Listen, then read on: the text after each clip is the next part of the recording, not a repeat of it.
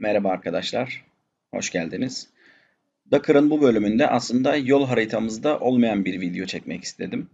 Benim kullandığım terminalde işime yarayan, sizlerin de işinize işine yarayacağını düşündüğüm, işlerinizi hızlandıracak bir e, bir özellikten bahsedeceğim. Docker Code Completion.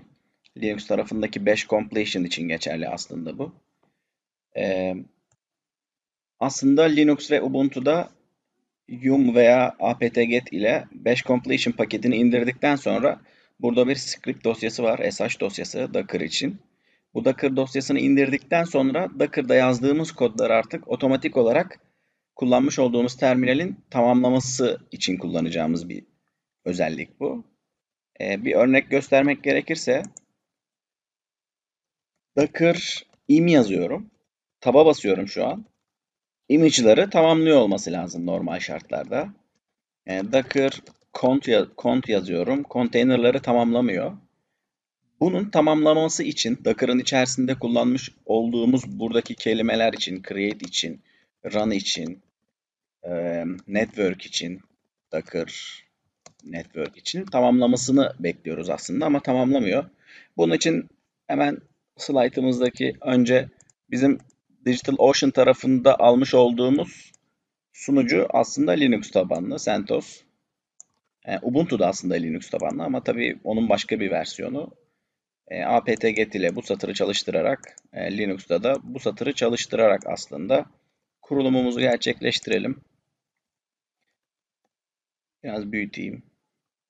Yapıştırdım, çalıştırıyorum.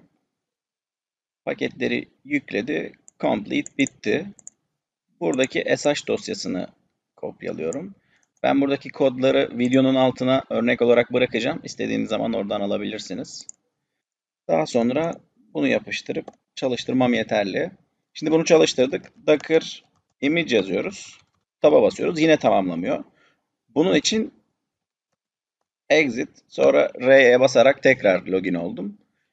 Bir login logout işlemi gerektiriyor. Docker e, im yazıp taba basınca artık image mi, images mi, import mu onu kullan. Hangisini kullanacaksın? Benim için tamamlamaya başladı. Im, ima dedim. Bastım taba image oldu. Container için deneyelim. Conta diyelim mesela. Taba basalım container.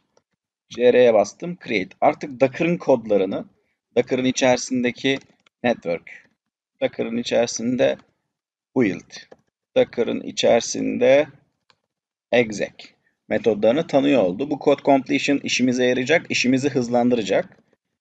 Ee, bunu şöyle de kullanabiliriz. Docker container tire taba basarak mesela tire koyduktan sonra normalde bir opsiyon belirtmemiz gerekiyordu ya.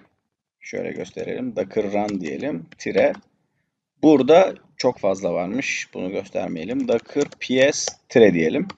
Basınca taba iki kez Tireden sonra hangi parametreleri koyabileceğimizi de tamamlıyor. Oraya kadar tamamlama çalışıyor.